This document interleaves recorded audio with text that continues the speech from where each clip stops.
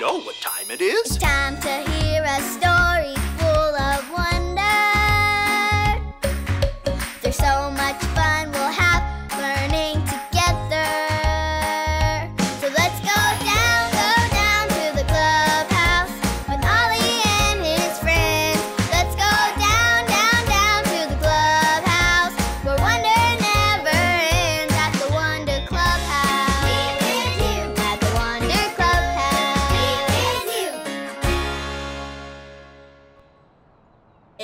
B C D E F G H I. Oh, hi, friends. I'm Hayden. I found this great box of alphabet magnets while decorated for Christmas, so I'm putting them all in order. Can you sing the alphabet song with me? A B C D E F G H I. I've got to put up the rest of the letters. What comes after I? H I J. That's it. Now we have to find the letter J. Is this the letter J? no, this isn't a J. Is this a letter J? No, this isn't a J. Is this the letter J? Yes, it is. This is the letter J. It starts up here and it swoops down. J is for jumping jacks. J is for jelly.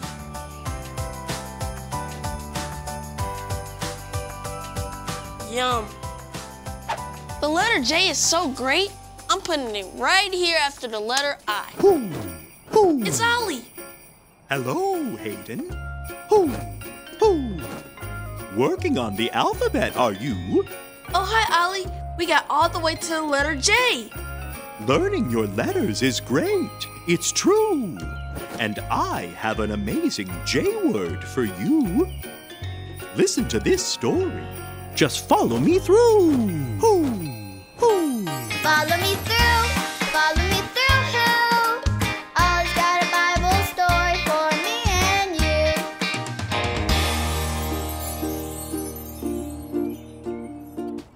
Oh, hey there! Merry Christmas! I'm Justin the mailman. Look at all of these Christmas cards. This one says, Merry Christmas. Christmas starts with the letter C. And this one says, Joy. That starts with the letter J. That reminds me of our story today. It's about a very special baby whose name starts with the letter J. I can't wait to tell you about it. I'll just put the story mail in the mailbox and.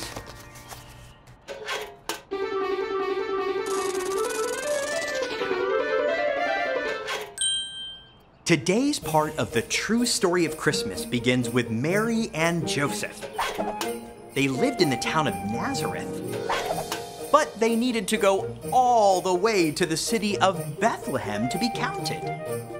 You see Bethlehem all the way back there? That's where Joseph was from, and that's where they needed to go. But Mary was going to have a baby. That means she couldn't walk all that way. She needed a ride. What do you think Mary rode to Bethlehem? Do you think she took the bus? No. Did she ride on the train? No, she didn't ride the train. She didn't ride a bus or a train. She probably rode on an animal, like a donkey. What does a donkey say? Hee haw, hee haw. Okay, on to Bethlehem. Once Mary and Joseph got to Bethlehem, they needed to find a place to stay. So they looked around the town for somewhere to rest. They knocked on door A.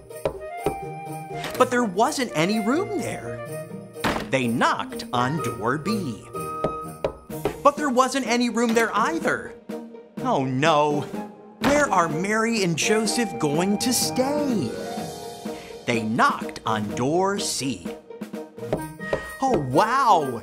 The innkeeper didn't have any room inside, but he told Joseph and Mary that they could stay in his stable. Now, a stable is a place where people keep their animals. And it was in that stable, with all of the animals, that something amazing happened. A very special baby was born, and Mary named him Jesus. J is for Jesus. Everyone say, J is for Jesus. J is for Jesus. God loves us so much that he gave us Jesus. Oh, hey there, Ollie. Tell me, how do we know God loves us? God gave us Jesus. Yes, it's true. Now let's hear it from you. Tell me, how do we know God loves us? God gave us Jesus. That's the truth, friends. You better believe it. I'll see you next time. So there's your story, and it's all true.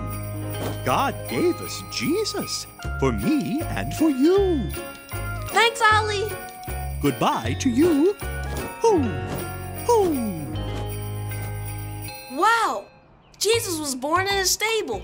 God loves us so much that he gave us Jesus. I think I got the story. Did you get it? If you did, say got it. Get it? Got it! Good! I know what else J is for.